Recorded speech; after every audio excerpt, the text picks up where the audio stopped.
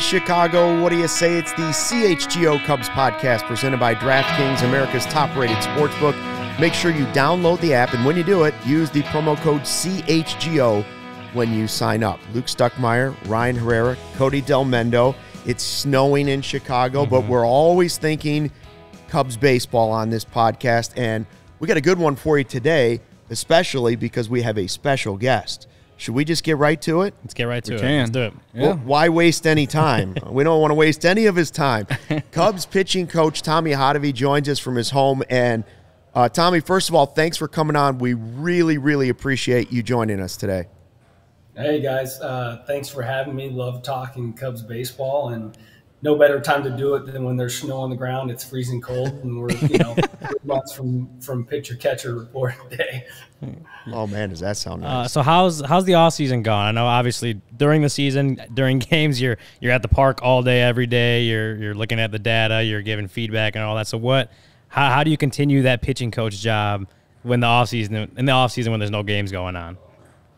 Yeah, you know, it definitely slows down. Um, you know, we, the we, we joke of the you know hundred hour work weeks turn mm-hmm. into you know fifteen hour work weeks, so it's a complete one eighty of of what the season looks like. But honestly, the as baseball has grown, right from when I first started playing, mm-hmm. the communication level and what you had when you were a young player back in 2004, 2005, communication wise with the front office with the coaches has completely changed. Um, just because there's so much information out there now, there's so many initiatives and things that we want to try to accomplish, and I think the the, the switch from the off season being this recovery mode where all you do is is recover from the season to like we just know so much more about what the body can do and what's important in the off season, and you can gain so much during these first you know two months of the off season. So we we communicate. We're in communication pretty consistently with the players.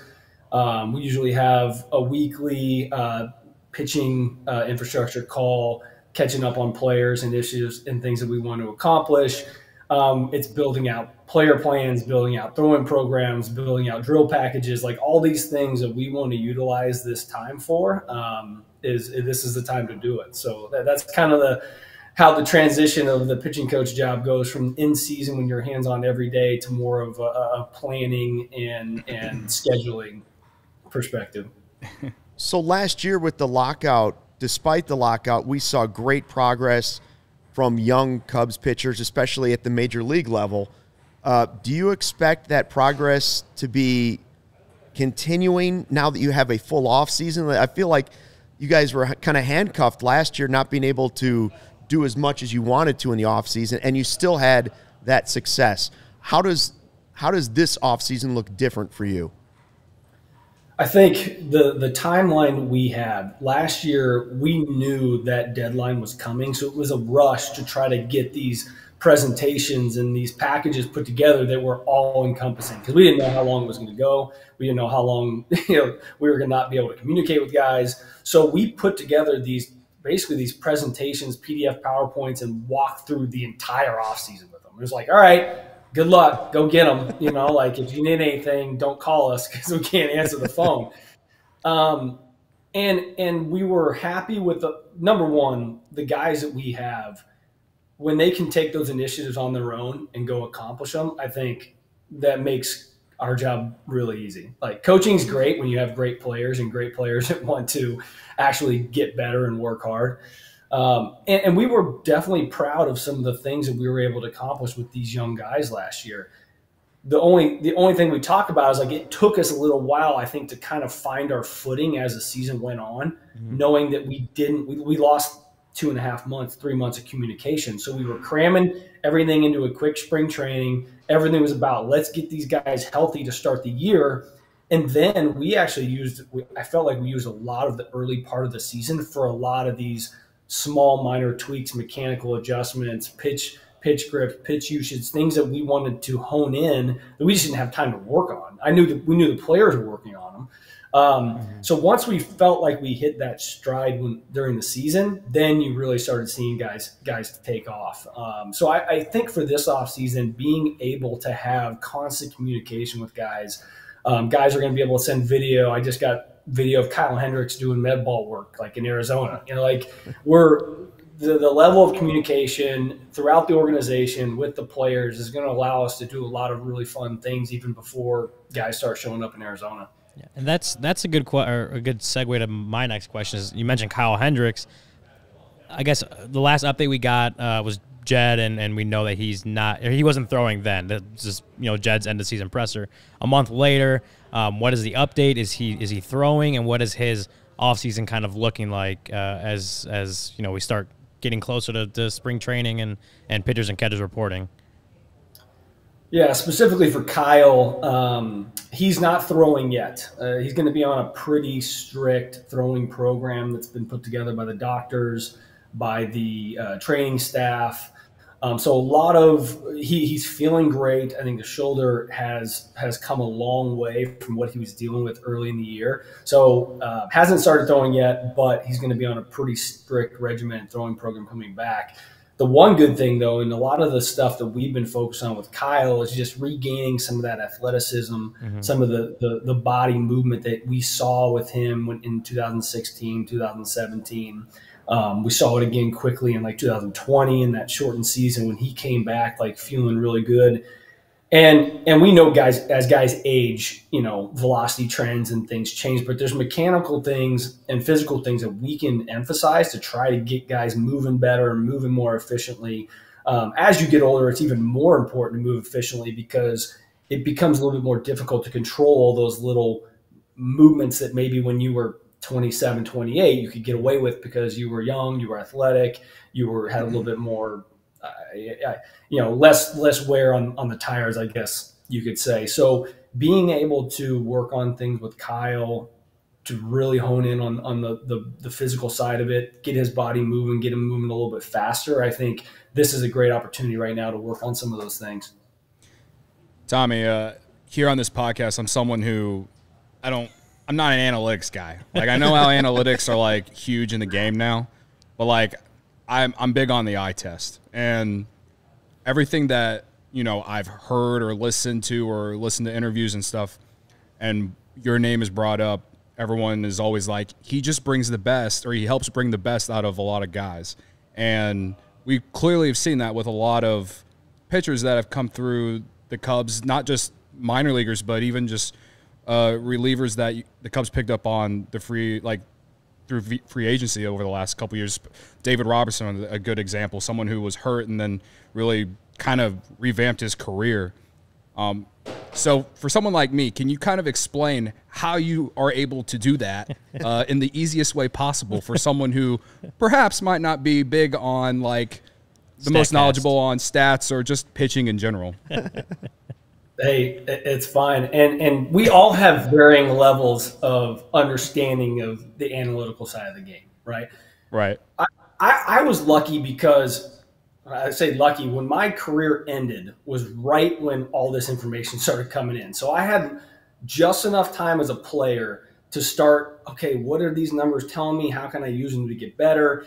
Then I knew I was done. Now I'm like, okay, I really think this is where the game's going I just surrounded myself with really smart people that just told me I asked a lot of questions to. And and honestly, like I keep using those guys. We we have I mean, no matter how good you think you are at understanding the analytics and all the numbers and stuff, there's always going to be somebody that's that's smarter and knows more. So I definitely utilize those guys all the time. But when when analytics first started really coming into the game, it was so much about the analytics and the coaching and how different they are in reality, they're very similar. And, and the and the coaches that have been around and seen things a long time, the analytics just justify those things. Mm-hmm. Or or they challenge you and be like, you know what, this is what you thought was happening for a long time. Here's what the numbers tell us. What can we do to, to be able to bridge that gap? And I think my my favorite part about what I get to do is is take all the information um, the analytical side of thing, the things you see with your eyes, the eye test, the the things you feel from the player, but also all the information on the player, who he is, his background, what makes him tick, um, what is his motivation, like all the psychological things that you know go into the game. All of that stuff matters. The psychological side, the background side is just as valuable as the analytical side. If, if I know right away, if I, let's just say, for example, I get a, a ping from our R&D department saying this, this pitcher, um, his release height's dropping, looks like his, his stride's getting a little bit longer. Maybe he's getting a little weak on his backside and trunks, trunks just not, something's off mechanically. So I'm getting these pings, I'm getting these things even before I see him at times. Or I'm seeing like something looks off. I need to find it. Boom, we're getting analytical reports on on what that might be. Come to find out, he hadn't been sleeping for three days because his newborn baby's been up all night and he's dealing with stuff at home. Might not be the best time to present him with some mechanical changes, you know? So, like, all these things that go into it is, I think, the magic behind like what we get to do. So, so the, I guess my best way of like answering your question, it was kind of like a long-winded, long-winded way of, of, of talking through that, but there's there's always something out there that's going to help you push you in, in, in the direction to make a decision. Mm-hmm. If you're seeing something in your eyes, nine times out of ten, there's going to be analytical data to back it. If there's analytical data that's pinging something that might be off or a change, usually there's something we can find real quick in video and, and diving in with the player that can justify it. So it all works together. We try to use all of it. And again, I'm lucky to have a lot of really smart people around me that can kind of help drive some of that. And to all the uh, hardcore Cub fans that are watching this live on YouTube, if you want to ask Tommy a question and have us read it to him, the super chat would be the best way to go about trying to do that during the show. Uh, Tommy, Cody is, he likes to say he's not the Delmetrics guy. His last name's Delmendo. We have a wide range of Cub fandom in our team, right? And so we have one man that we call the pitch doctor, Brendan, and he is the exact opposite of Cody. He is analytics to the point where I don't even know what he's talking about most of the time. Yeah. So basically. I want to. He yeah. wanted this one question asked you, and I hopefully you know what he's talking about because we don't. he says machine learning algorithms such as Max Bay's Stuff Plus and Cameron Grove's Pitch Grader seemingly capture the most important features of StatCast data can any more value be extracted from this type of tracking data? Do you see a trend towards different data types? that is from Brendan in California. We call him the pitch doctor. Do you know what he's talking about, and do you have an answer for that? So, when I just talked about surrounding yourself with people that are way smarter than you, I think this kind of falls into that category. uh, no, I, I, think I think he poses like some some interesting questions. I definitely know what he's talking about. I think from a, from a Cubs perspective, right? We what we have internally, mm-hmm. proprietary type information, our our background, what we've built with Ivy, and how we use that information is very different than I think what's just available to the public eye, and and it should be right. We're the Chicago Cubs. We have very smart people working behind the scenes to create these really cool models and, and algorithms for to help us utilize this data. Every year, we're getting new data from different sources. Um, Statcast obviously provided this insane amount of of body data, where guys are, how they move, how fast they move, data that we didn't have other than what we use uh, with KinaTrax um, internally uh, with the Cubs. So now we have Hawkeye. Hawkeye's taken over all the, the replay system. We're getting pitch data and movement data and stuff from Hawkeye. Some organizations use what these companies provide. Um, a, a, a, data download or um, just a, a report of how a guy moves. We've built a lot of that stuff internally to be able to pick and choose the information that we want and how we're going to use it. So I, I think there's always some there's always going to be ways to find new information, gather new information, find out ways to use it. That's part of our job as an organization and as coaches is like, okay, here's a new variable that we've never even thought about before. What does it tell us? How can we use it? And how can and how can we uh, what's the word I'm trying to say? How can we use it to, to have a competitive advantage? I think that's that's what we're trying to look at. Um, we have again really intelligent, smart people in in, in house that build models that help us predict um, not only performance on a certain pitch, let's say for example, but if we were to come up with a, a plan to change a pitch. Let's say we have a guy who has an 87 mile an hour slider with six inches of horizontal movement. If we want to create, let's say we want to back that off a little bit and get it down to 83, 84, if we gain 10 inches, now 10 to 12 inches of horizontal movement, what is that? What is what does the predictive model say is going to actually happen?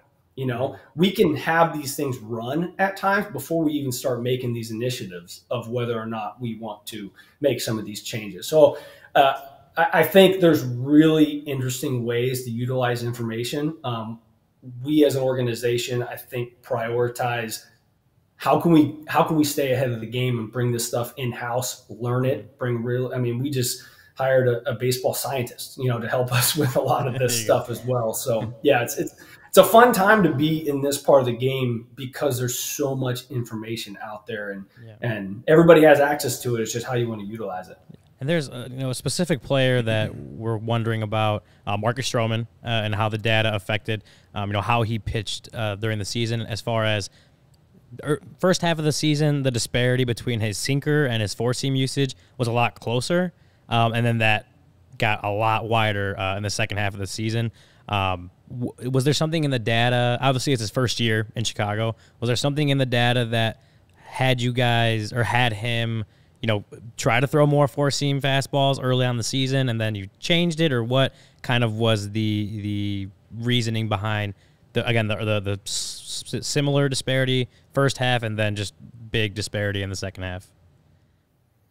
Yeah, Stro is a great um, case study. I guess is the best way to, to describe it. Right, mm-hmm. a guy who we signed the day like the day, like four hours before the deadline last it was, year. It was a buzzer. All beater. I got like a quick text like, "Hey, welcome to the org. Like, let's go," you know. And then I, I see in spring training.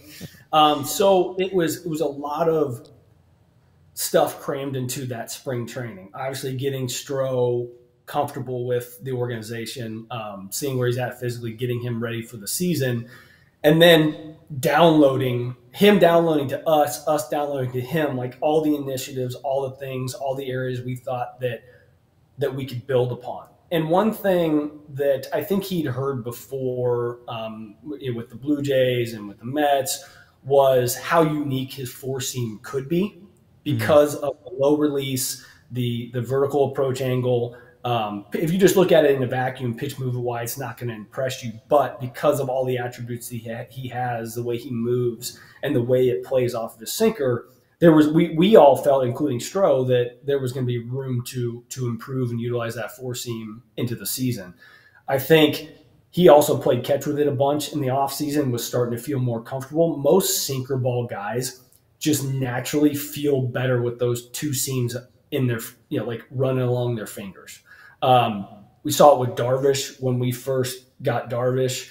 He was there were times where he's like i don't feel comfortable with the four seam. It feels like it just it feels like an ice cube. Two seam in my hand feels great. And there's just a lot of guys that feel that way. So so a lot of our work is playing catch with the four seam and stuff and you start to see those quick results right? You start to see ooh there's that swing and miss. The four seam is going to create maybe some more pop-up fly ball swing and miss that obviously a two seam fastball is not going to be able to provide for you um, so we worked we worked on it and we were on the same page, but just got to a point where he was losing feel for his most important pitch, which which was his sinker. And so we, you you hit a, a fork in the road, right? Do you keep pounding the pavement and saying like, no, let's stay on it, um, you know, trusting that we can get back to that sinker, but also utilizing the four seam, or do we say like, no, what? Let's reset Let's get you back to what you're really good at doing and have been good at doing for a long time, and then piece together all the work that you've put on the four seamer when we need it. And that's more of the path that we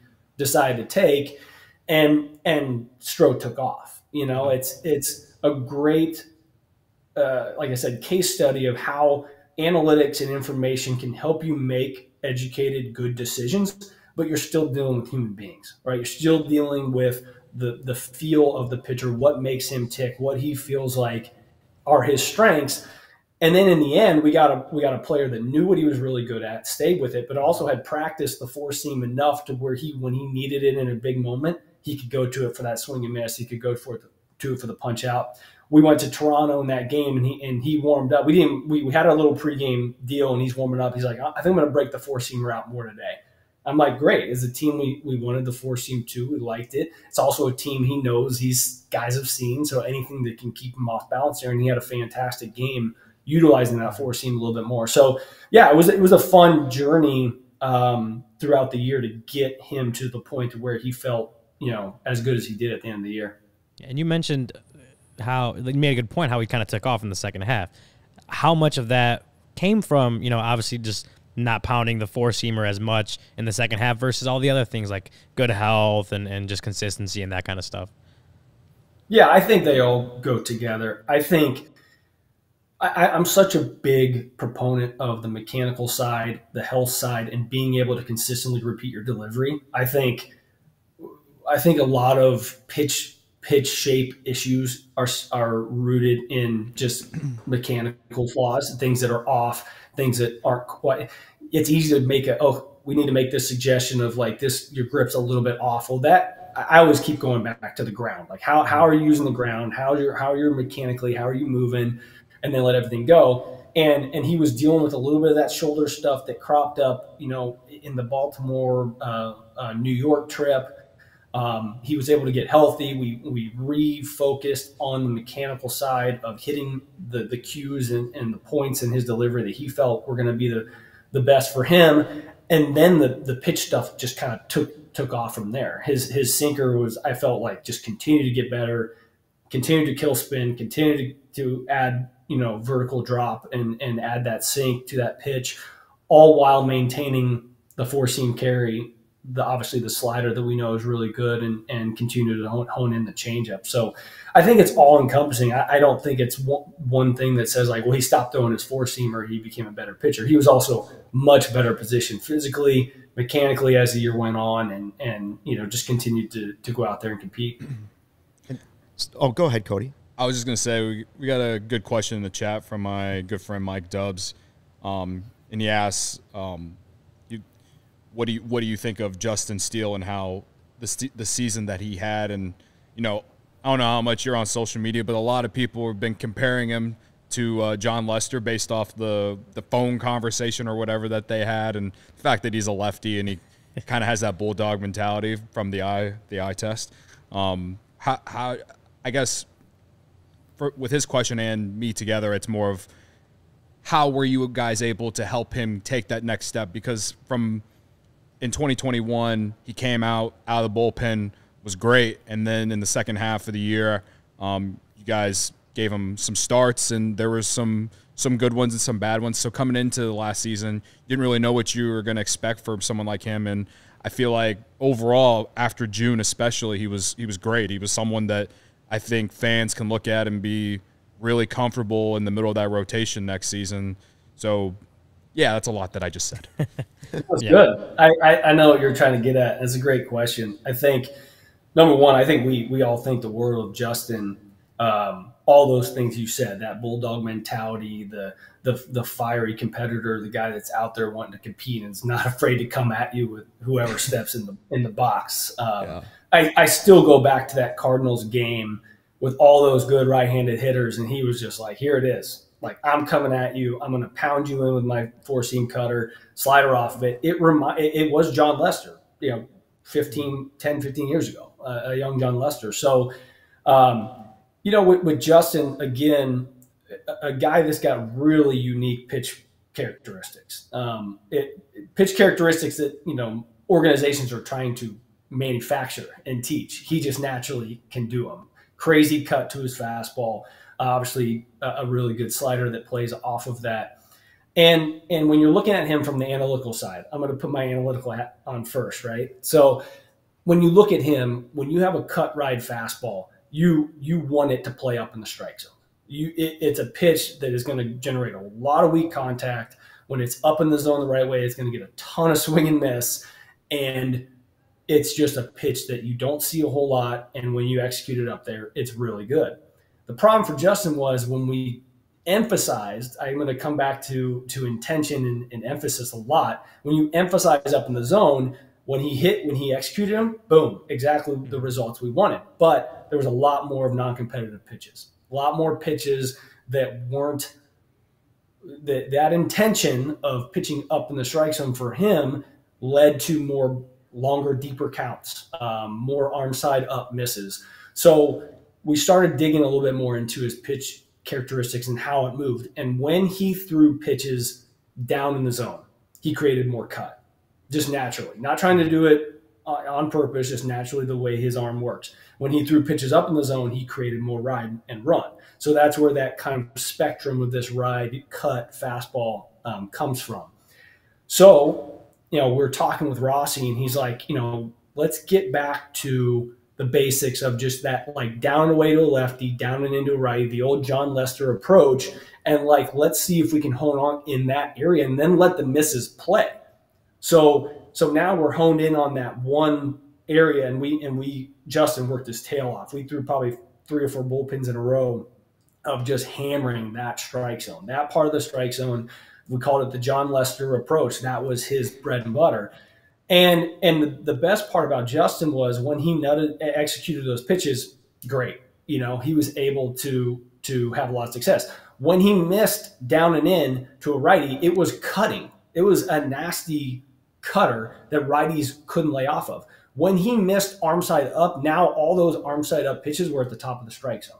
So we were utilizing, eh, we talked about utilizing your misses more so than than execution, right? If we all execute our pitches, like any one of us can can pitch, can pitch and have success with with less than stuff. But when you can take the execution plus where your miss is and hone in on an area that really will give you the best chance to be successful, and then that gives you the freedom as a pitcher to go out there and be like, I don't have to be fine.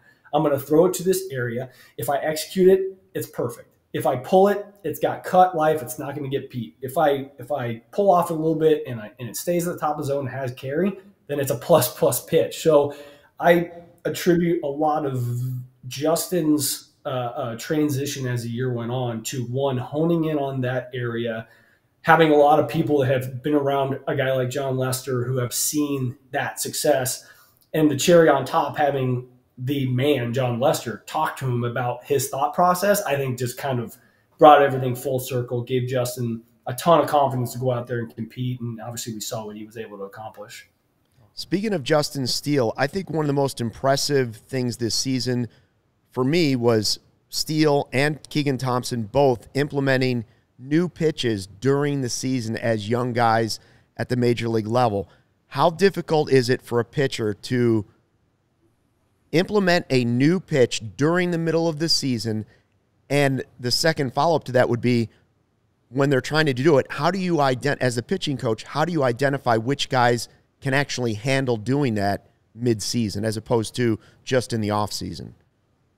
No, that's that's a great question. That's that's what we deal with every single year, um, and it's the decisions we're making all the time as an organization.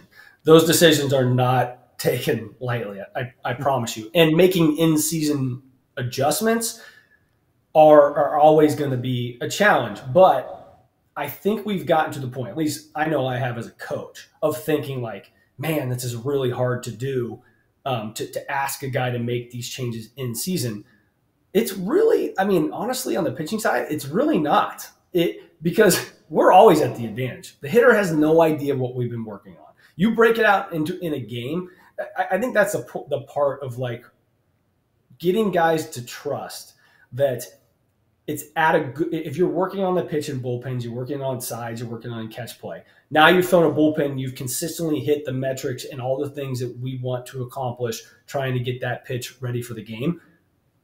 I think that's one of the things we do really well as a group is giving them the confidence like go use it. Go. Here's three hitters in the lineup that it works to. Go do it. Yeah. like you know it's it the the mantra of like, oh, we don't want to get beat with our worst pitch and, and all these things. That's true. In like the biggest moments of the game, Justin Steele is gonna gonna come right at you with his four seam and slide.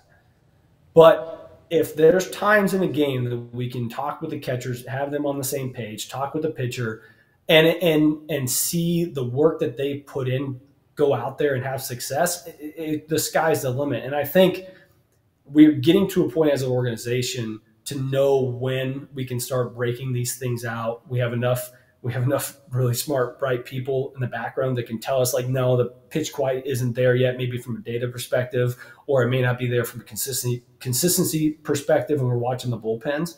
Um, but again, like we're not afraid to break stuff out mid-season. I think that's been one of the most fun fun things uh, over the last few years. And trying to determine when guys are ready for that, I I think it goes back to the the, the getting to know the player, what makes them tick, um, where are they mentally, where are they physically. Um, there was, I know, a, a, good story to this is Keegan Thompson when he first came up last year, went on a great run. Like had had, I think he didn't give up a run in his first like 14 outings or something like that, but he wasn't getting swing and miss. Like we knew that was in there, we knew that was coming, but we also weren't going to like, hey, you're like you're having you're having a lot of success. Congratulations. We we want to change you now and like try to re get chasey swing and miss. So it's like it's a fine line between okay, a guy's ready for it. Let's break it out versus like we know we want to do it. Let's let that opportunity present itself. And then once that happens and the player's ready for it, that buy-in's a lot easier. That that transition to like, okay, hey, we're going to work on it is a lot easier. And then, then you usually have really good success when you're able to accomplish that. Yeah. Um, I wanted to ask more of a. we got a super chat. Oh, we better do yeah. the super chat first. Go. We'll, we'll do the you super chat first. Uh, Cody, go ahead, read or Ryan. Yeah. Uh, it's from uh, Nick G. He's asking, is there a use or future use for VR with pitchers, which I have no idea what that means. Virtual, Virtual reality, which even, is even the old guy knows that. oh, okay. That's based off, that. I guess, uh, Nico mentioning using it uh, for preparing for you know taking at bats and stuff. Um, it, on the flip side, is there a use for it for for pitchers? I never even thought of this. Yeah, I, I, think there is. It's probably not as much on than on the hitting side though, because the hitters can actually like track pitches with it and stuff. One thing we've discussed is kind of interesting is, you know, getting guys to stand in on themselves.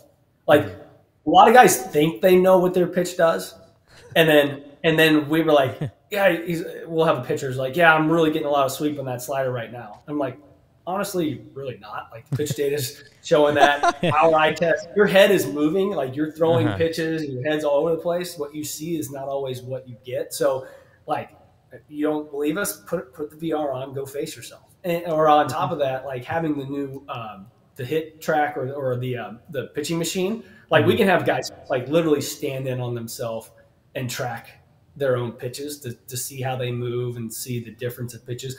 It that's really the extent of it, I think, on our end.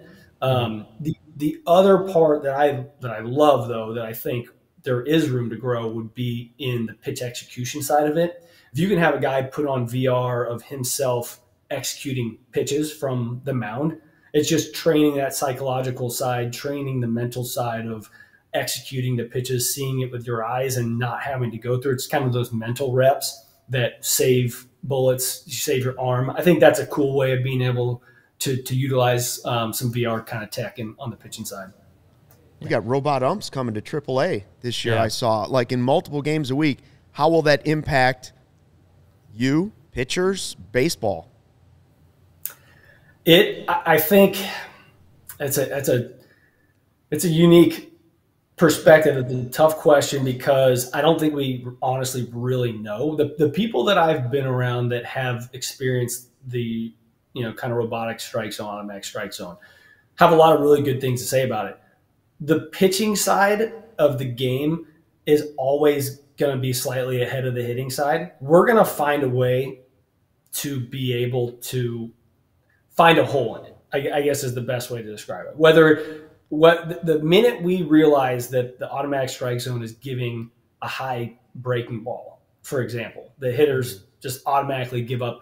Guys are going to start training to throw it. Um, you know, it, it's just it, we're we're going to find a hole, a discrepancy, a something that may be able to be taken advantage of, and the pitching side is always going to be a tick ahead. And so, you know, I, I think I, I, understand where the game is going and why the importance of having consistent balls and strikes um, are.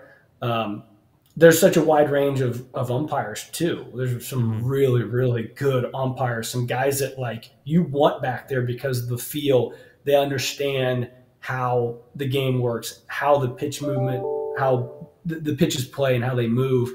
And and as much as I want that call down away when we set up up and in on a righty and you pull it all the way down away, it's in the strike zone. Is that really a strike? You know, like in, in, yeah. in our minds, like we want to execute pitches. Like we don't necessarily want mistakes getting called strikes. So, you know, I, I think it'll be interesting to see how it plays. I think you would definitely see the pitching side of the game find a way to take advantage of it. Yeah. And in the same sense, um, you know, a rule change that's actually coming to the major leagues next year is the pitch clock. Um, we've talked about it as, as, soon as the, the announcement was made that it was coming. Um, but one, one of the things is like, how does that affect, you know, the the pitching staff as a whole? Obviously, a lot of guys that aren't a. I mean, not everyone's Wade Miley. Um, right. but how does that affect the pitching staff as a whole as far as fatigue? And and does that make the bullpen even more valuable, especially now that there's you know a limit to the amount of arms you can have on the on the pitching staff? Yeah, I think um, from a fatigue perspective, I, I don't know. I don't know if it's going to change a ton. Like I get, we're, we're going to have to wait until we get more data and information on how trends happen at like let's say at 50 pitches 75 pitches of of a game we have some of that from the minor leagues we actually ran some exercises. Once we knew that rule was coming out we had our r&d group start running like okay who falls outside of that category that we mm-hmm. currently have?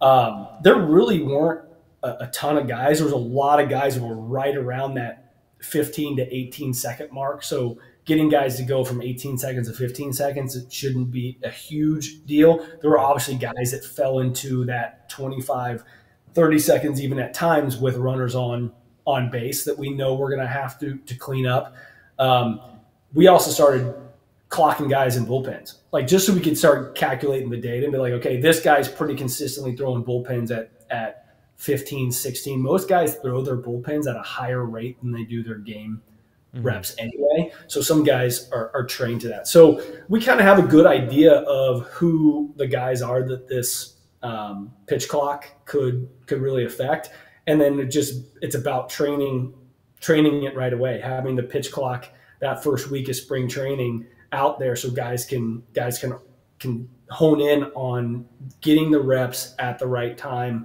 Um, I think it'll it'll it definitely will affect five percent of the pitchers, but I think for the most part across the league, guys will be able to make that adjustment fairly easily. Um, first of all, I know we're all sitting here watching the off season from the outside looking in. I'm not going to ask you what you know about free agents and stuff, but I am curious, like how involved you are, if you are involved in discussions about uh, pitchers that come up. Like, do you give feedback? Do you give feedback? after they have identified somebody? How does the offseason work for a pitching coach when it comes to trades, offseason, free agency, all of those things that are happening right now? Yeah, I can I can speak obviously to our organization and, and where things are here. I know different organizations obviously do things differently. I'm going into my ninth uh, year mm-hmm. in the organization. Um, been very fortunate to to be able to be um, on on the front lines, on the coaching staff, on the field, but also be able to be in a lot of the meetings, a lot of the off-season discussions, kind of seeing a lot of different sides of of the organization and, and what what goes on, you know, throughout the year. We definitely are in communication. Um, there's we, we do a good job of of really early in the off-season process utilizing every resource we have in an organization, be like, to just ask them, like, what do you think we should do? Like, who do you want to go get? Who would you prioritize? And when you ask, when you value the opinions of 60, 70 people and everybody from the, the major league coaching staff to the coordinators to the R&D department to the scouting department, what you tend to find is like, yeah, there's a lot of uh, variance. There's a lot of variables that, that end up showing up, but if 10 if 10 if a name shows up 10 times it's probably one we want to look into if a name shows up 20 times it's something we definitely want to look into um, so organizationally we do a great job of of asking questions having questionnaires having things guys fill out and then deep diving into the things that we know we want that we value as an organization and that we want to prioritize in our free agents. And then once we highlight guys that we want, we really do a great job of. I call it this is our sales pitch time of the year. Um, we send personal videos. We send. Um, you know, we, we do a lot of Zoom calls with players. Let them ask questions. Um, throw throw some ideas on, on, on things we'd like to see them do if they were here. Let them just talk about their careers and how they value um, where they see themselves. You know, if an organization feels like you should do something, but if you feel like you should do something different, it's probably not going to be a very good match. So a lot of what we do is let the player talk. Um, and, and, get a feel for where they are in their career, what they're open to, what they want to do, and then just kind of fill in the gaps there. So it's a it's a fun time of the year because we have a lot of discussions about a wide range of stuff from free agent guys we want to go after, um, uh, non-roster guys that we feel like are really good depth pieces. Um, training drills for the current guys we have, throwing programs, discussion with the training staff on the rehab guy. I mean, it's it's a wide range of things that we're talking about on a given day. So it's definitely a, a fun time of the year. Tommy, my last question. I, you mentioned your ninth season. You've been here for all of David Ross's tenure. You've been here for, I believe, all of Joe Maddon's tenure. Um, you've seen this organization, especially the pitching side. Um, so I'm so, I'm sure you've heard the narrative um, from like over the past decade or so. The Cubs can't develop pitching. That that is that has changed over the last couple of years, obviously. Um, with guys like Justin Steele and Keegan Thompson, Brandon Hughes, um, you know, guys getting promoted to the major leagues, but also moving up through the through the system in the minors. Um, but if you could like point to one specific thing, one big change that has allowed that narrative to flip, uh, I mean, what would you identify? The, the biggest change, the biggest difference maker in in the pitching infrastructure. This is the easiest question I think you've asked me all day. well, I got. I have an even easier question after that. Okay, great. No, um, cohesiveness in the organization, especially on the pitching side. Um, I, I, again, being able to be part of this organization when this new information technology age just kind of took over, it was very polarizing. There were a lot of people that had very different opinions about how everything worked or how or how things should work and how the vision of the organization should go. When when Brez when Breslow came in and took over this role of like, okay, my sole focus is going to be to to do whatever I can to improve the pitching side of this organization. You had you had a clear leader in the clubhouse, I, I would say, in that area. Now you start piecing people in that have very unique backgrounds, can specialize in things, are passionate about helping players get better, are, are open, number one, to having discussions, getting in a room, talking about things, and, and, and being able to have tough conversations about what we want to value as a group. And then once you do that and you have these conversations, you have open lines of communication, then to the player, it looks like the organization has all their their T's crossed and their I's dotted. They they if they're presenting something to me, it's been vetted by five or six people. It's been pumped through the R and D group. It's been pumped through the front office. It's talked about and discussed with the coaches. So everybody is on the same page. Once it hits the player, now it's just go time. Go execute what we want to do. And I think Breslow coming in, adding some really bright people into the organization, up and down, from coaches to coordinators to obviously the major league staff that we feel like we have and have everybody being on the same page just makes everything easy. So I, I 100% attribute the the goals and, and the accomplishments that have happened throughout the organization on the pitching side to that cohesiveness and communication up and down the organization. Right. That's awesome to hear. All right, Cody, hit it. I know. What, let's let's finish big because I know Cody's this been. Is, this is this the best. Has been question, brewing this question. Right? so, like, I'm not like I said, I'm not the like an analytics guy, but I'm a big vibes guy, Tommy. Like, and I love going to Wrigley Field on Friday at 120s, and you know, multiple times I realized this year, and maybe I just didn't pay too much attention in previous seasons, but this year specifically, I went to Wrigley so many times, and I saw the entire coaching staff and even guys in the bullpen rocking the same pair of Jordans like every day. and I, the big question for me is how did that start? And two, how many pairs do you have? Because I've seen you rocking the ones, but I, I don't know if you have any other ones as well. Yeah, that's that's a great question, and, and an important, very important question. Very Yes. Yeah, Cody's Yeah. addicted to Jordans. and the vibes the vibes are big. I, I rock my uh, it's a vibe shirt all the time. Yeah, he uh, does. around Wrigley. I love I love that. Um, so yeah, we, we gave we gave Rossy a little bit of of crap his his first year because he's a first year manager. You know, you come in. And we're like, okay, you know, are we going to have a shoe deal with somebody? Are we going to have an apparel, a coaching staff apparel deal, whatever? And he's like, there's too much other things on his plate to worry about getting shoes for the coaches. And so we had some, and and I, I would have to give the credit to the original like Jordans and the shoe game was Will Venable. Um, really, when he was coaching, you know, the bases um, when he was with Joe, started rocking some ones and started kind of upping the shoe game a little bit. Okay. Then when we brought over Craig Driver and Chris Young from in Philly, they had some good shoe game because Kapler I know always had to have some good shoe game. So you start seeing these guys, I'm like, man, those are those are pretty nice, you know. And then and then next thing you know, it's just like, all right, everybody, this we, we found this this pair is on sale, so everybody goes and gets them, and then we're all rocking them, and then like, ooh, now I need roadies because I got to have some roadies that look better than in the whites. So then you get your red and blue pair, you get your the ones with some gray, and then you're like, ooh, now we got the Wrigleyville Fridays, so now you got to have something with some navy and maybe a little bit of the, and you know the North Carolina blue, and next thing you know, you've got five, six, seven pairs of Jordans that you're rocking. Um, I, I've got uh, about five or six pairs that I have on on good on good rotation, um, but that it pales in comparison to I think some of the guys.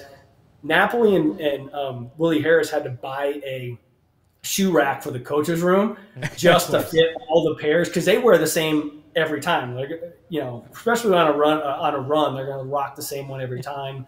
The pitching staff, we've got our own, and so you end up having a pretty cool collection. So um, I would say I'm, I'm more middle of the pack in terms of the number, but there's guys that are definitely in the 20s uh, in terms of shoe game. That's It's awesome. awesome. Yeah. Napoli, if you think he's got a lot of Jordans, Cody, we're thinking about getting him a storage unit. That's how many he's got. He loves his Jordans. This was a first of all so much fun, Yeah. and Tommy, we really, really appreciate you taking time in your off season to talk Cubs baseball and pitching with us. Um, we hope you'll be willing to do it again sometime, but we appreciate this for sure. You have to come in, uh, come in studio next time, Tommy. Yeah, if, when you're in Chicago. Yeah. If you're ever yeah, around. love, love to. Obviously, appreciate uh, everything you guys do. You know, I think the, up and down the, the Cubs organization, we we know the fans and and the people that work behind the scenes, the the blogs, the YouTube channels. I mean, all this stuff. I mean, we we appreciate it as an organization and support, and you know, looking forward to some really good years ahead. Thanks again. Have a great Thanks, off Tommy. season, and hopefully we'll see you at uh, Cubs convention coming up. Sounds great, guys. Thanks for having me. Yeah, thanks, Tommy. Thanks, Tommy. Cubs pitching coach Tommy Hottovy. That was a lot of great. fun. That was a lot of fun. Um, The ending was my favorite part. I if well, of course was knew wondering. it was Cody. I, I could. s- I looked over at Cody and I saw three or four times and he was kind of like itching in his seat. He's, He's like, like, I gotta ask the Jordan question. I gotta ask the Jordan question. So we saved it uh, Oh, for last. Uh, the ComEd Energy Efficiency Program is committed to helping families and businesses in the communities we serve manage energy usage and lower energy bills now and into the future. ComEd offers a wide array of incentives on lighting and other efficiency upgrades to commercial, industrial, and public sector customers of all sizes across our territory. Customers can inquire about how to upgrade outdated lighting to energy and money saving efficient LED lights, Cubs, Wrigley Field. Learn more about network lighting to operate your lights through your mobile device and track your facility's energy usage and more. Incentives have recently increased for indoor, outdoor lighting, network lighting controls, and making these projects even more cost effective than before. Visit comed.com slash powering biz right now to start saving money and energy and to start a project contact them at 1-855-433-2700 for more information email businessee at comed.com or public sector ee at comed.com and when you have those lights you're going to need your shady rays Definitely, definitely. Absolutely. you don't want to be blinded by those those LED lights. You want That's right. I don't want to look in them, but if you are going to, you might want to have your shady rays on. Shady Rays never understood why sunglasses were so expensive, so they set out to change it. You don't have to break the bank for quality sunglasses this fall because our friends at Shady Rays have you covered. Shady Rays are premium polarized shades featuring world class optical clarity, substantial durability, and styles catered to everyone and every lifestyle. And the best part about Shady Rays, they have the most insane protection program in all of eyewear lost and broken replacements. If you lose or break your shades on day one, they told us they will send you a brand new pair, no questions asked. You drop them in the lake, you drop them off a cliff, you leave them on the roof of your car like Luke's phone, uh, and, and they fall off this time. Anything that happens to them, they'll replace them. Even with that strong of a protection program, they still managed to make quality that I can tell you holding in my hand seems just as good as any expensive pair that I have ever worn. Shady Rays customers seem to agree with over 200,000 five star reviews. Shady Rays also provides 10 meals to fight hunger in America with every order placed and have donated over 20 million meals to date. They stand behind their product and told our team that if anyone has a problem, they throw profit out the window and do what it takes to get it right. There's free returns and exchanges. You either love the shades or Shady Rays will pay you to ship them back. That's it. And exclusively for our listeners, Shady Rays is running their deepest deal of the season. Use code CHGO for 50% off two or more pairs at shadyrays.com. That's buy one, get one free. You get two pairs for as low as $54. Redeem only at shadyrays.com. Remember, code is CHGO. Go to shadyrays.com where you can find all their newest and best shades. Well, we have lots we could cover here in the last like 20 minutes of the podcast. Michael Collada says, now back to business. Why isn't Ricketts signed a shortstop yet? I, I knew that was Death, coming taxes, before the and end of the Michael day. Collada. There you go. Um, first of all, the kind of the biggest news leading up to the podcast of the day was the Blue Jays trading Teoscar Yeah. Hernandez to Seattle, and now reportedly the Blue Jays are interested in Brandon Nimmo as a free agent. And both of those names are guys where you could say, well, they'd look pretty good in the Cubs outfield as well. So, Yeah. Yeah. but it- Not surprised that they're into Nimmo, considering Yeah. they were interested in Ian Happ at the deadline. So, Well, he'd be Yeah. a great leadoff guy, first of all, Yeah. right? You could put him at the top of your order and be happy about it. I, I still think that if the Cubs are going to push their first domino of the offseason, that Michael is right in saying I would rather see it be the shortstop position than the outfield position.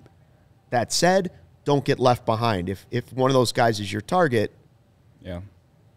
see him starting to go off the board. That's when I get a little get a little scratchy.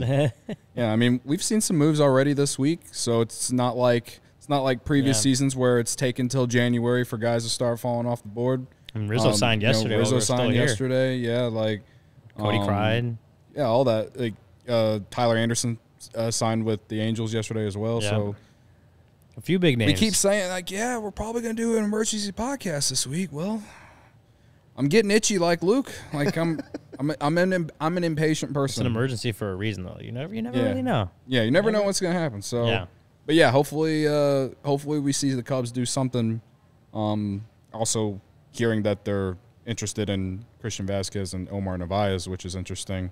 I know a lot of people probably aren't too excited about that, I mean- given who our catcher was. Who, who the catcher yet has, which I, I don't know if we talked about that on the show. I think that might have also happened officially after we had gotten off. Yeah, I think uh, so. That Willson had uh, rejected the qualifying offer. I wrote about Which is it a little surprise. bit. Wrote about it. Uh, article allchgo.com uh, this morning.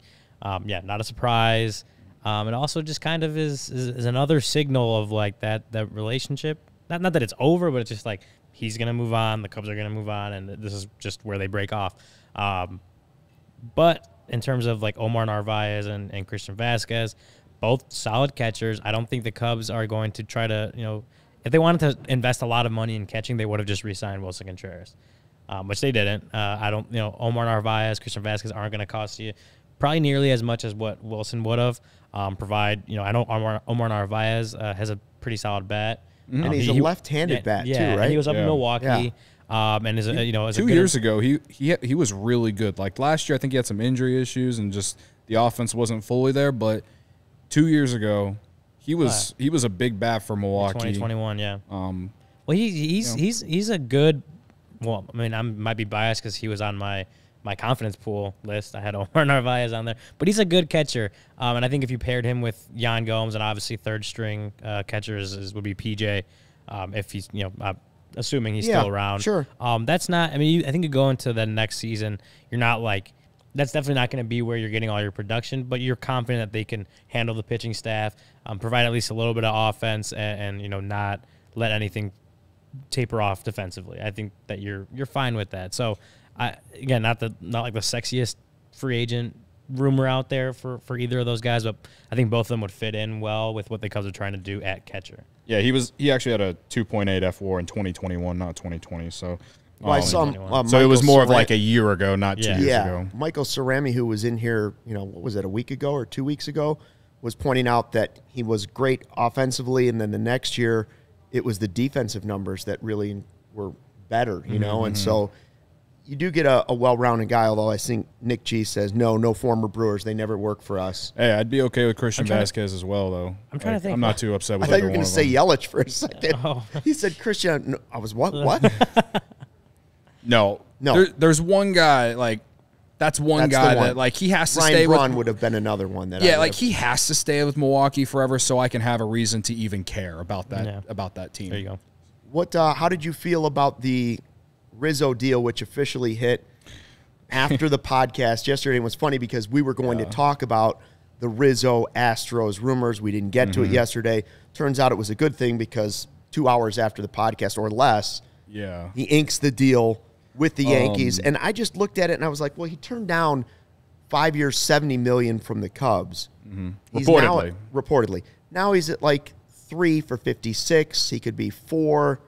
He made 16 million this year, this past year. So you combine that with, you know, what he's going I to would make. think he's going to get real close to that mm. offer and, and will mm. probably exceed it unless he mm-hmm. has Six you million know, dollar heaven buyout. forbid, in an injury that really slows him down. Mm-hmm. yeah, So it's still not a done deal that he's going to make more money, but it shows that the offer the Cubs made wasn't crazy. You know, it wasn't like a huge underpay, and I think it kind But of it actu- also wasn't super, super generous to the guy that had become the face of your and I also franchise. think Right. it took it to get what he got. Obviously, took him having you know a couple of really good seasons with the Yankees, or well, Right. season and a half with, with the Yankees, right? Like it. Would he had he struggled this last year? Would he have even you know opted out of the contract? Would he have gotten to the deal that he got now? Like yeah. it, leave, it leaves me wondering like five for 70 and he, he, not, he sees what he's kind of getting. Would he have taken five for 80? Would like, would 10 million more have been the number that would have been like, yep, that extra ten millions And- gonna And the thing that like people like kind of like leave out is the fact that the Cubs put that offer out there, and then Rizzo was like, "I'm done. Like I'm, you know, Right. we're not having conversations until the offseason. Then the Cubs trade him, and we all know what happens. But so, and this isn't me defending the organization on it. To me, there's there's both there's there's reasons for blame on both sides with this because right now I know Rizzo said nice things about the Cubs when they play the Yankees in season, but like. I think from every fan's perspective, we all feel like Rizzo just doesn't like the Cubs anymore, and like there's good reason for that. But also like, I don't. I, to me, the Cubs gave a fair offer, but also like you said, Luke, I feel like you know a little extra in there just because he was who he is. He was the leader. He was the quote unquote captain. Like he was with the organization for ten years, and he did everything to help that team win the World Series, and he became like the literal face of not only the Cubs but like sport, just athletes in Chicago. Okay, so like I I I get you know maybe him being feeling disrespected about that, but like at the same time like the Cubs were in such a situation where you felt like they were going to have to change things completely. yeah. They either have to decide if they're going to change things completely or just spend and, and try to change things that way. Um, it was just a very tough thing. When you look at back at it now, in hindsight, it's kind of like, well, were the Cubs that off? Probably in dollars wise, probably not. But I still think that there's, it's. I still think there's. It's just not a good look with the fact of how it was handled and how things went down. Emotions and feelings got in the middle of it and, and Right. impacted I just think like there's it, yeah. certain Without guys, any question. There's definitely certain guys that I feel like you have to throw out the data, the analytical thing up behind behind it on how much you should pay a certain guy. I think there's there's certain guys that you have to just throw it out and just find a way to get it done. And perhaps the Cubs did did their part, and maybe it's on Rizzo with the fact that he just kind of said no and didn't try to renegotiate after that. At least f based off what we know. Maybe you know what? He didn't. but- Have, he didn't have to go through a tank, and this way, the Cubs now have one of their top prospects, Kevin Alcantara, which they wouldn't have if it weren't for Rizzo. So that this and, is just the way and it's played he did out. take a team friendly deal when he, Yes. you know, whenever he was young Earlier. and all that. So like, yeah, I talked all about. I, I made a TikTok about it. If you Yeah, want to as, go follow we, me. as, we've said, now we can it can finally be put to rest. Yeah, Rizzo it's done. is I'm we're laying done. him to rest as a member. I of am the done He's no talking longer about Cub. Anthony Rizzo and contracts. I'm done. Don't ask me about it. If we have we we all meeting up together Uh, Chris the, Bryant for the Cubs. What about his What about his Jordan game? No, sorry. Uh, how about I a, just like I'm done. I'm how done about with a, it. how about your DraftKings pick of the week, Cody? Oh, What- baby. What's something that's just got you ready to make a deal? I placed right the bet now? last night. You're While we were doing CHGO bets, I took Gonzaga money line against Texas tonight. Some teenagers bouncing basketballs. I'm excited about it. Uh, Gonzaga plus 105 against Texas. Gonzaga coming off a one point win against Michigan State. I think they're going to come out and play better against Texas. They were 12 point favorites against Michigan State and only won by one. Of course, they played that game on an aircraft carrier, but whatever. Um, I think tonight they're going to come out and play two full halves against the Texas. Texas is pretty good. I think they're ranked number 11, Gonzaga number two. Um, I think that Gonzaga is going to give you a full a full game this time. Um, and again, it's it's like a one or two point spread. I'm going to just taking money line uh, plus 105. You get a little plus money action against uh, the Longhorns. Sorry, Joey. Sorry, Joey. Um, I see uh, Mike Dubbs saying Correa to the Cubs is at plus two twenty. It's come down. It was at plus 280 last right night. now on DraftKings. Uh, by the way, Game Time is the hottest new ticketing site that makes it easier than ever to score the best deals on tickets to sports, concerts, and shows. If you've ever dreamed of sitting in a seat you never thought you could, 50 yard line, courtside, behind home plate, it's possible with the Game Time app. The biggest last minute price drops can be found on seats you thought you could never buy. You won't find a better deal this season on Bears tickets or Bulls tickets or Blackhawks. Created by the fans for the fans, guaranteeing the lowest price. If you love CHGO, you're going to love Game Time. The best way to support us is by buying your tickets through the link in the description, just like Cody did when he bought Illinois versus Northwestern last week. Join over 15 million people who have downloaded the Game Time app and score the best seats to all your favorite events. Um, where did I see? oh, Yes, there's always a chance, Dubs. Brandon says uh, he's late to the chat, but the Cubs have the best pitching coach in the business. I will say this, and this is not a knock on Larry Rothschild. If if that interview would have been with Larry Rothschild, who I covered a lot with the Cubs, a longtime pitching coach for the Cubs, the stark difference between the next generation coming in to the old mm-hmm. regime of pitching coach, like it, it's just a glaring spotlight on how the game is changing, how the personalities are changing. All the data everything like that. Everything is changing, and the Cubs are now keeping up with the Joneses, as they say, and maybe even pushing the envelope, as he was talking about virtual reality and this stuff that I never even considered would be part of Right. Major League Baseball, but they've clearly thought of all of it. He even knew what our Brendan was talking about, which I thought was complete gibberish, but Well, apparently that- it was that whole not. It was just Question, uh, words put in the line. That's Yeah, all it was, to me. It was syllables that I didn't. I like had. I'd never heard put together in my entire life.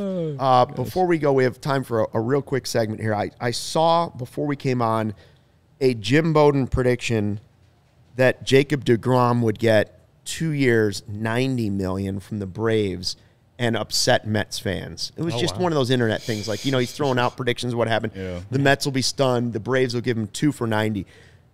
I'm not saying that that's not going to happen. It's just crazy that that would be the point that contracts are getting to in Major League Baseball.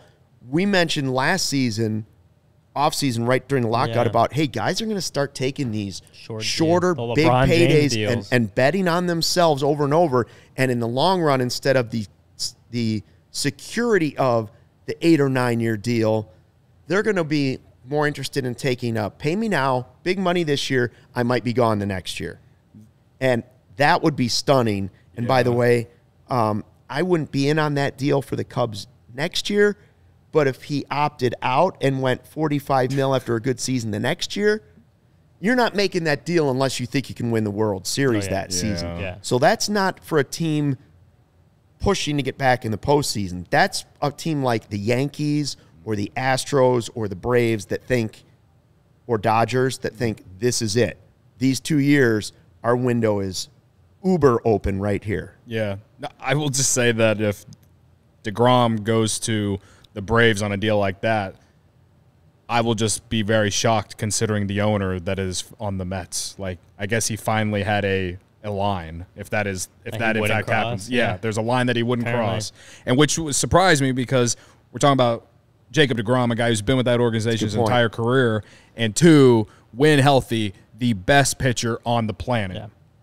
Like no, like there's no like argument with that. No, yeah, no. So Unless guy the was hitting Mets, 100 miles an hour in like the eighth inning. Still. Like, Yeah. like- unless the Mets don't really think they're in that window. Well, they just won 101 games. I mean, I I believe they do. So that's why, like, if he was offered two for ninety, I would see their owner being like, "All right, two for ninety-five. Who knows? Remember the reason they didn't make a huge trade was because they wanted to keep the window open for like another three, four years. Like, Yeah.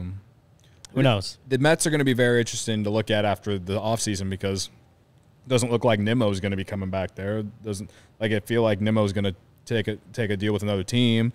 You know, Yeah. Also saw that Plus John DeGrom. Morosi pointed out that he believed the Cubs were in on uh, who's the Dodgers pitcher that just left for the Angels, Tyler, Tyler Anderson. Anderson. That Yeah. the Cubs were in on that. Oh, okay. Really? which would have been he interesting chose the because Angels that shows you the level of pitcher that they are thinking about. looking at, yeah. Mm-hmm. And so, who are the other guys you start to think of? Maybe I'm surprised he dream chose of the other Angels names. unless he just really likes the West Coast. Well, he also had a qualifying offer too, right? Ah. I I, I want to say he did, so maybe that deterred the Cubs a little bit from really. Mm-hmm. But going interesting after that they were- it's don't know. like That the it's big the like, reportedly were at kicking the pitcher tires of that, that. level though. Like I'm okay that they didn't get a Tyler Anderson. Uh, I mean, I mean, Yeah, again, think the Angels the Angels let him go. And then the Dodgers. Dodgers picked him up, turned him into something. Now he's now the yeah. Angels are like, okay, now we'll pay you. Yeah, exactly. who knows? So yeah, I, I that's interesting, but there's still plenty of other guys out there that I think the Cubs w- will be in on as far as like a middle of the rotation guy. So I, you know, I know a lot of people think that the Cubs need to get two starting ro- starting rotation pitchers. Um, and, and and to an extent, I, I agree. Whether you know, in terms of you know, it's a number one or just two middle rotation guys. Like obviously, Drew Smyly's in play there.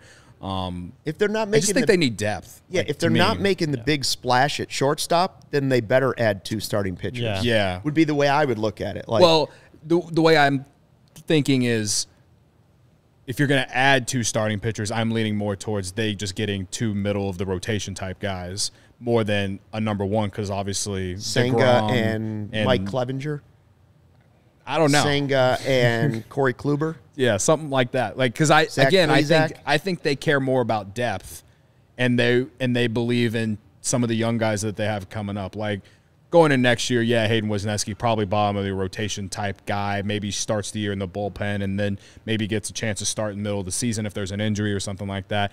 I, that's how I'm starting to feel with the way that we've heard the rumors and everything. I feel like they're gonna go. They're gonna get pitcher like starting rotation depth, and then really believe in some of the young guys that they have to potentially be a number one guy. I, I think there'll be a lot uh, more than obviously more than five on the major league roster who can start a game, there'll probably be a few sitting in AAA just kind of waiting, Yeah. waiting to get called up real quick for a spot start and, here and and, Like, and- that's and to me, be. I can be fine with that as long as you do sign some starting rotation depth. That to me, I can live with that if you if you do that and you sign a Correa or a Turner or a Bogaerts. I think fans can get over that Mm-hmm. because again, we're going to next year and we're as fans. I think the the level headed expectation is win the wild card or win the division. Like I, I, I or not win the wild card, but you know, get one of the wild card spots. You know what I mean? Like I think that's level headed expectations for next year, and if and then you build on it from there. So. Do yeah, I would love for them to spend that kind of money on Jacob Degrom, but also I don't know if Jacob Degrom would even want to come to the Cubs for a year where you're not sure what you're going to get. So I think that Forty-five million for one year seems like a lot of dough for a season that probably He's also older though. gonna- He still wants to win a ring. Yeah. Like I think all that stuff kind of factors in. Like I've never really fully believed that the Cubs would be in on him. I've always dreamed of it, you know, the last six months, but whatever. I'm I'm just giving you my opinion on what the Cubs should do with pitching in terms of free agents, and I think that depth at the very least is something that will be very important because we saw it in the first half of this past year. Like didn't have the depth of starting pitching, and that that that made them look like one of the worst teams in baseball. So they need to sure that up. And remember, up until his birthday last year, he was not an analytics guy, even though Mm-hmm. he told pitching coach Tommy Hottovy that he's still not an analytics Yeah, guy. he's- so he- now he's he's no longer an analyst. Cody Delmetrics has now removed his own title. He Nope. fluctuates. From May 17th to November 16th, 2022. That's when you were an analytics guy. From Now, that like they should make a, a graphic. We should put it on the internet. like a tombstone, the date of your analytics era. You Uh, hear that, Joey? Thank you. We'll be back again at uh, 120 on Thursday. Hope you'll join us then. We want to thank our guest, specifically Tommy Hottovy, because pitching coach, which is a lot. Uh, he was great. Yeah. Um, Yeah, we want to thank everybody in the fun. chat that chimed in, the super chat with a question, uh, everybody that watched live on YouTube, and everybody that's downloading the podcast later. Make sure you subscribe, hit the like button, all those different things that give us feedback on what you think of the podcast. Um, and we will see you tomorrow at 120. Thanks for checking out the CHGO Cubs podcast presented by DraftKings, America's top rated sportsbook. Use the promo code CHGO when you sign up, and we will see you tomorrow. Until then, fly the W.